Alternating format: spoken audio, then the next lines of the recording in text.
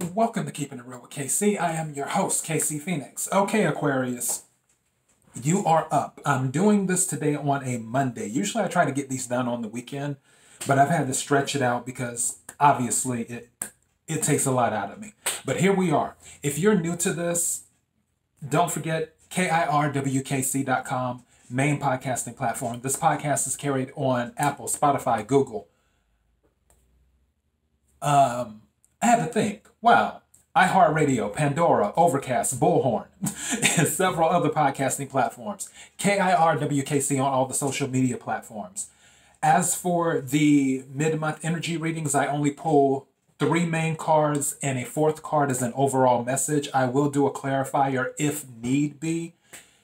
And what else? Take what resonates, leave what doesn't. If it doesn't, if it isn't your story, don't try to make it fit. Obviously, this is not going to resonate with every single Aquarius on the planet. Uh, I do not read reversals, I read energy. So wherever the energy goes, that's where I go. Also, there is not a gender in tarot. There is only energy. So if I'm talking about a queen of cups or a king of wands or an emperor or an empress, it doesn't necessarily mean that I'm talking about a male or a female. Could be.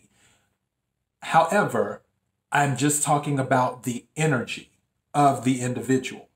So yes, now that I've said all of that, I did the pre-shuffle for my main deck. The two cards that came out, it was the two of pentacles and then also the two of wands. So that's letting me know that you're in the middle of making a decision and you're you've been juggling with something that you want to do, a road that you want to go down. It seems like a lot of basically indecisiveness.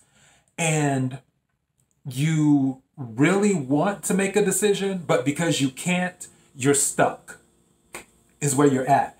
In the clarifying deck for the two cards, I got the Tower, which obviously is where something crumbles, um, usually unexpectedly, is what happens with the Tower, which is also ruled by Mars energy, which we're in the month of Aries, which Mars rules, um, Mars rules, rules Aries.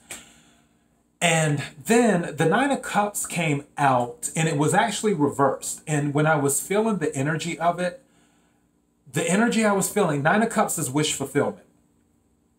I honestly feel that you your indecisiveness is blocking your wish fulfillment is what I feel. I feel that the wish fulfillment is there, that you're going to get it. Because with the tower, the tower happens whether you want it to or not. But the with you not being able to make a decision with the two of pentacles with the two of wands with you not being being able to make a decision you're delaying the inevitable the end result will be wish fulfillment whatever your wish is it's just that you more than likely will be forced to make a decision unexpectedly and then that will carry you off into because when the tower falls it removes what doesn't serve you. So when everything is removed that will carry you off into your wish fulfillment. So that's the energy that i was picking up for the pre-shuffle energy. Now we're going to go ahead and get to the main energy is what we're going to do and this deck is so thick too that I'm about to use for my main deck. But something was saying yesterday, go ahead and use this deck. So I decided to go ahead and use it. May I have three cards for Aquarius, please? May I have three cards for Aquarius? May I have three cards for Aquarius?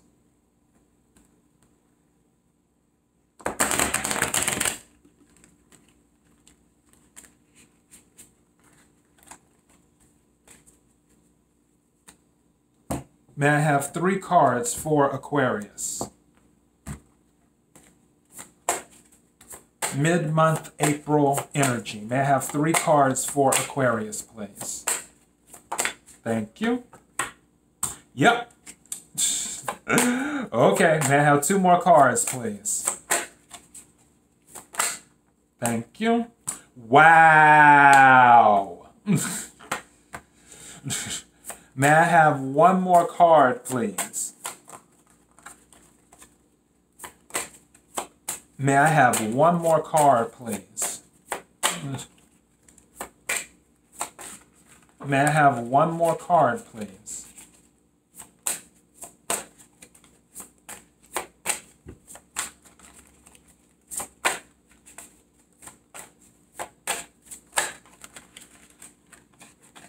This doesn't want to go back in, so I'm going to take it. Actually, I'm going to take both of these. Okay, and may I have the overall message, please?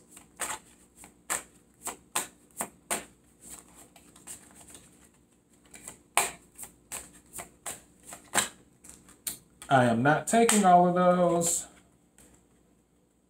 Part of me wants to take that one, but I'm going to wait and see. If it's meant to come out, it'll come out. May I have the overall message, please? Whoa, two came out. Okay. What do we have here? Interesting. Huh. Okay. You know, and I'm going to read those as reversals too. All right, that's cool. Okay, Aquarius. This is the energy that's going on right now. This is, you could say, past energy or what is to come in a way. This is the World card. World card is about endings. World card is about learning lessons. World card is about closing out a cycle, is what the World card is about. So some of you are in the process of closing out a cycle, even though, based off of the pre shuffle energy, I believe that you have had an issue closing out the cycle. You have been holding on to something that doesn't serve you, hence the tower in the clarifying deck. But with the world card, the world card is saying, okay, we're closing this cycle out. We're going to finally go ahead and let go. Also, the world card can be travel. If you are thinking about traveling, this might be it.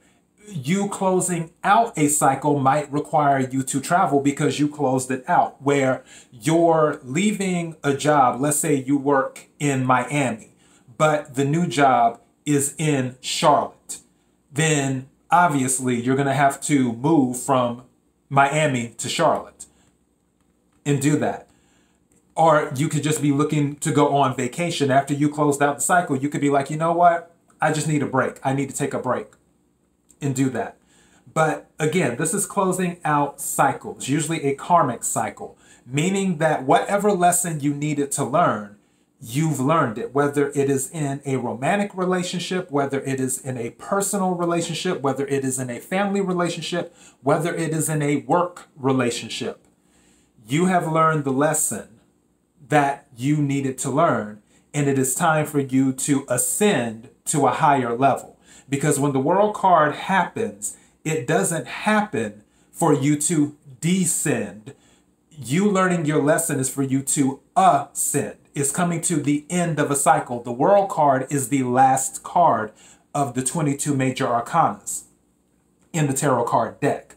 So this is the last part where you're graduating. Also, some of you could be graduating right now because we're about to go into the month of May.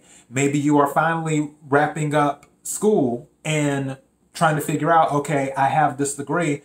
I think I know where I what industry I want to work in because just because someone has a degree in a certain field doesn't mean they always go to work in that field. Because I know people who have degrees in psychology and go and work in telecommunications. So to each his own. But the point of this card is, is that you're closing out a cycle. But with the pre-shuffle energy, I just feel it's it's a very slow process for you. The next card that comes up, and I was right, and that's why why I said wow, the nine of cups.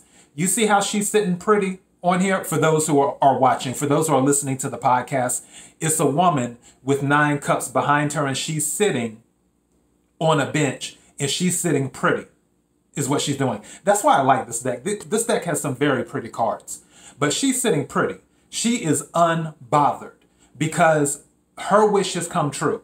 Nine of Cups is wish fulfillment. So, whatever you have been wishing to happen, whatever you've been hoping to happen, that wish is coming into being. Again, I just feel that this is a very slow moving energy due to your indecisiveness, is what it is.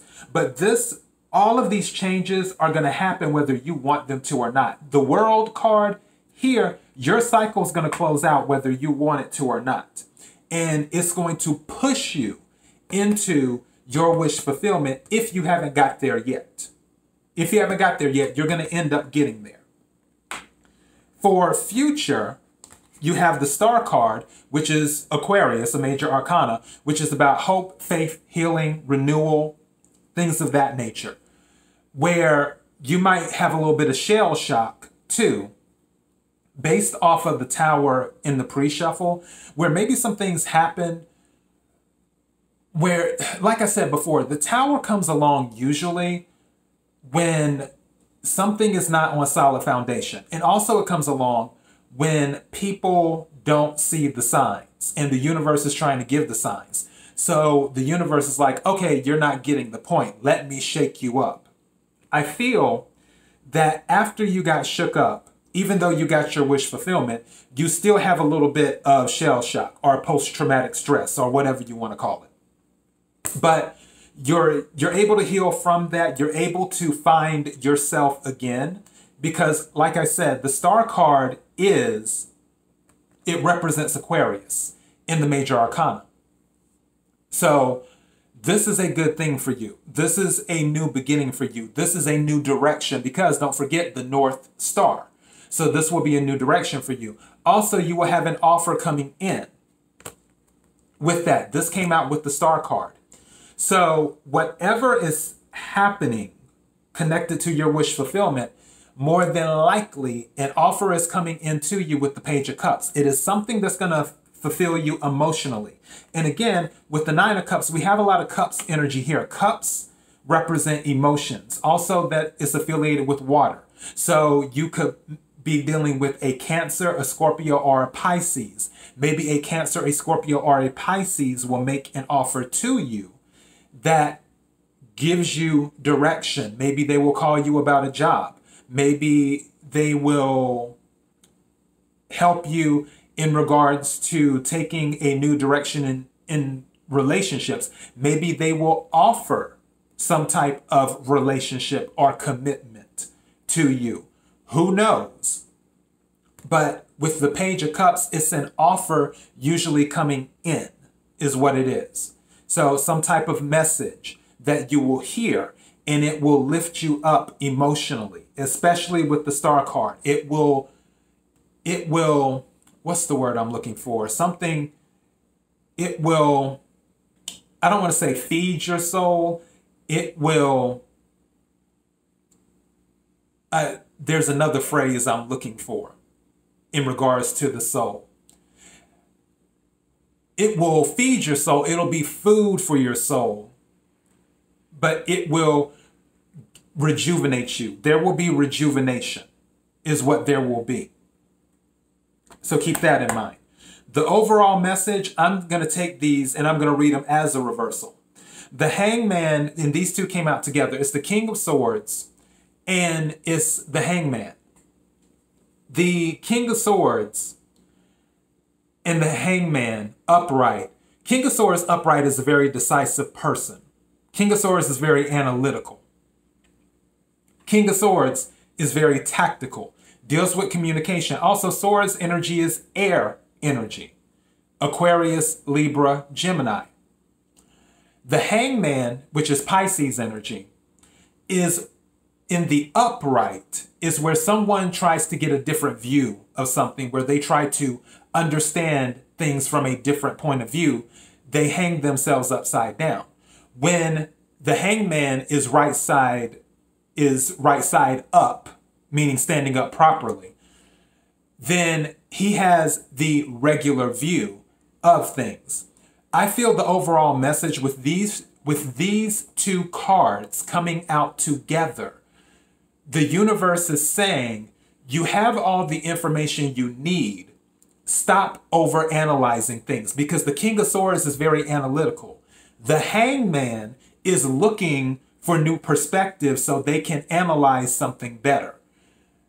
With this energy, I'm taking it as a reversal, both of them, that you need to stop overanalyzing. You need to quit being indecisive.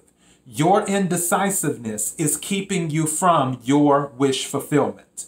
That is the overall message. So you can hurry up and close out this cycle. You need to quit being so indecisive. You need to make a decision. You have all of the information available to you. Take the information and just go for it. Because based off of these cards, the universe is on your side. You whatever decision you make will more than likely be the right one because you already have all the information. You can already make it an informed decision. And the universe is saying you already know what you need to do. Quit being so indecisive. Get off the bench and get into the game, is what it's saying. So, Aquarius, that is what I have for you for the mid month April energy reading. If any of this resonated with you, don't forget to hit the like button. Also, don't forget to share because sharing is caring. Also, don't forget to subscribe. That way you will know when I upload new videos and new podcasts. Until next time, Aquarius, be blessed.